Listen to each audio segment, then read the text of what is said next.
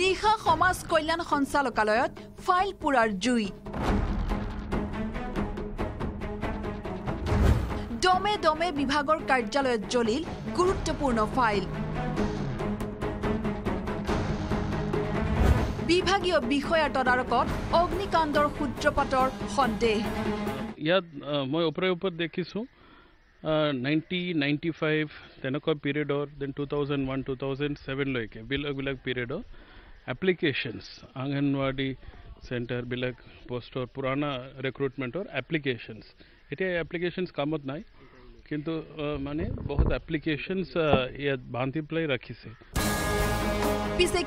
সংঘটিত হৈছিল এই ভয়াৱহ অগ্নিকাণ্ড অগ্নিকাণ্ডৰ আঁৰত কোন বিদ্যুৎ সংযোগ নথকা স্থানত অগ্নি সূত্ৰপাতৰ কাৰণ কি সেয়া এতিয়াও ৰহস্যৰ আৱৰ্তত ৰাজ্যৰ সমাজ কল্যাণ বিভাগৰ সঞ্চালকালয়ত নিশা ৰহস্যজনক জুই আৰু এই অগ্নিকাণ্ডত ভস্মীভূত হৈছে বহু গুৰুত্বপূৰ্ণ ফাইল।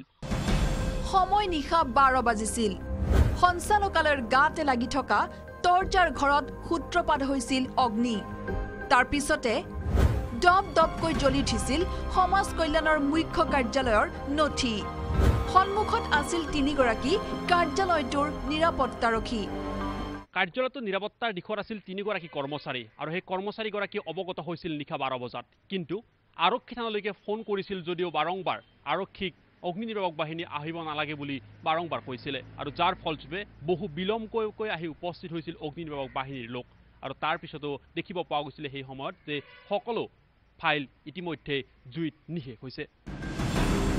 হয় সকলো দেখি শুনিও খবৰ দিয়া নাছিল অগ্নি নিৰ্বাপক বাহিনীক অৱশেষত পৰিস্থিতি যথেষ্ট বেয়ালৈ গতি কৰিবলৈ লওঁতেই শেষ অৱস্থাত আহি উপস্থিত হয় অগ্নি নিৰ্বাপক বাহিনী। ইয়াকে লৈ ঘটনাক্ৰমত সোমাই পৰিছে ৰহস্যৰ আৱৰ্তত দুহেজাৰ দুশ পঞ্চাছ কোটি টকীয়া বিয়াগম কেলেংকাৰীৰ তদন্ত চলি থকা সময়তে এই অগ্নিকাণ্ডই পুনৰ সৃষ্টি কৰিছে আন এক ৰহস্যৰ। সঁচাকৈ দুৰ্নীতিগ্ৰস্ত কোনো বিভাগৰ বিষয়া কৰ্মচাৰীয়ে তথ্য ধ্বংস কৰাৰ ষড়যন্ত্ৰ নেকি এয়া? এই ঘটনা সন্দৰ্ভত ইতিমধ্যে আৰক্ষী আৰু বিভাগে আৰম্ভ কৰিছে তদন্ত। এইখিনি পুৰণা ৰেকৰ্ডছ মই জানা মতে। তথাপি এইটো এটা ভাল ধৰণে তদন্ত কৰাৰ কাৰণে আমি তিনিটা ষ্টেপ লৈছোঁ। এটাতো থানাত কমপ্লেইন দিছোঁ যাৰ চ' আমাৰ চৌকীদাৰ যিজন আছে তেওঁ গৈ থানাত লিখিতভাৱে দি আছে। মই কমিশ্যনাৰ ছাৰক ৰিকুৱেষ্ট কৰিছোঁ ছাৰ নিয়মতে যি কৰিব লাগে তেওঁ কৰিব। লগতে আমাৰ অনুষ্ঠান ভিতৰত দুটা প্ৰক্ৰিয়া আমি কৰিছোঁ। এটা প্ৰথমতে একজন সিনিয়ৰ অফিচাৰ আমাৰ এতিয়া এনকুৱাৰী কৰিব আমাৰ এডিশ্যনেল ডাইৰেক্টৰ মহোদয়। চ' এনকুৱাৰী কৰি এণ্ড আৰু একজন next officer joint director will be presenting officer চ' এটা এনকুৱাৰী কৰিব লাগে এণ্ড অলছ' এমপ্লয়িজ একচুৱেলি যোৱাকালি আছিলে চৌকীদাৰ। চ' তেখেতৰ পৰাও আমি এনকুৱাৰী কৰিম।